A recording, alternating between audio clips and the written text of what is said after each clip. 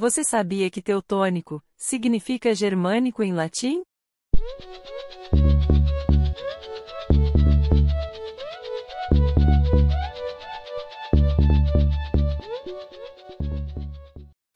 Meu nome é Giovana, e esse é o Mundo Medieval, Ordem dos Paladinos.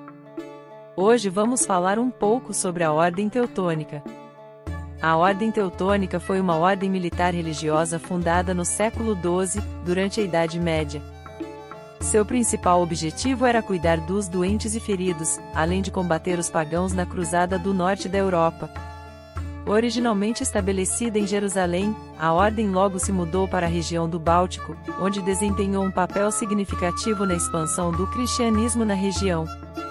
No início do século XIII, a Ordem Teutônica foi convidada pelos duques da Polônia e da Masóvia para auxiliar na conversão dos povos pagãos da Prússia. A Ordem Teutônica foi responsável por estabelecer e administrar várias cidades e castelos fortificados, como a famosa Mariemburgo. No entanto, ao longo dos séculos, a Ordem expandiu seu poder e território, tornando-se uma potência militar e política na região.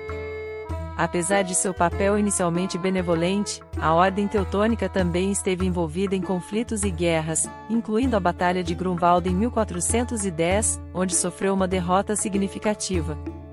Apesar de sua importância histórica, a Ordem Teutônica entrou em declínio no final da Idade Média, e foi secularizada no século XVI.